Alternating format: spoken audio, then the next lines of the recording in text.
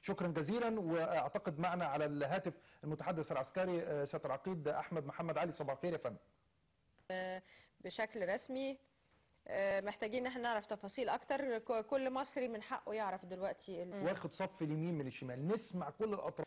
بس ناخد المصادر اللي هو السورس الحقيقي للحدث. أيوة، وبالتالي وخاصة- نقدر آه. نسمع الحق. بقدر الإمكان الوطني والإعلامي أيضا أو المهني. صحيح. ما- ده- صحابة هذا الفعل ما تعرضوا لهم من إصابات وما متخيطة ست غرز طبعا إحنا كنا نازلين امبارح عشان ف... نأمن الناس دي. الناس دي ضربوا علينا نار وقعدوا يحدفوا علينا بالهتوف وطوب والحجاره وضربوا علينا خرطوش وحتى زمايلي كتير قوي ضربوا نار جنبي والدليل معايا هنا في المستشفى برضه وإحنا في تأمين بنحجز بينهم وبين بعضهم فجأة لقيت واحد خبطني بالحديدة دي هنا. بعد كده ما حسيتش بأي حاجة.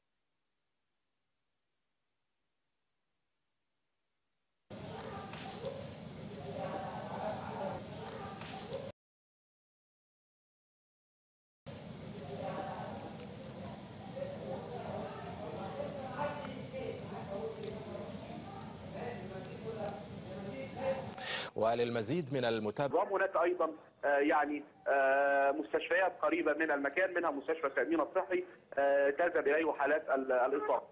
حال الجو آه، يعني محتقن إلى حد كبير آه، داخل اقسام ومحيط آه، مسجد رابعه من محيط قصر الحرس الجمهوري أو دار الحرس؟ يعني هو ليس هناك أرقام حصرية. يعني تعلم أن ربما أرقام الوفيات تكون في تزايد في المستشفى الميداني وإذا كانت الحالة تستلزم رعاية أفضل أكثر كانوا يقومون بنقلها عن طريق سيارات الأسعاف المتواجدة إلى مستشفى التأمين الصحي. ولكن يعني كان هناك تواجد لعدد قليل جدا في لسيارات الأسعاف في بداية الأمر ثم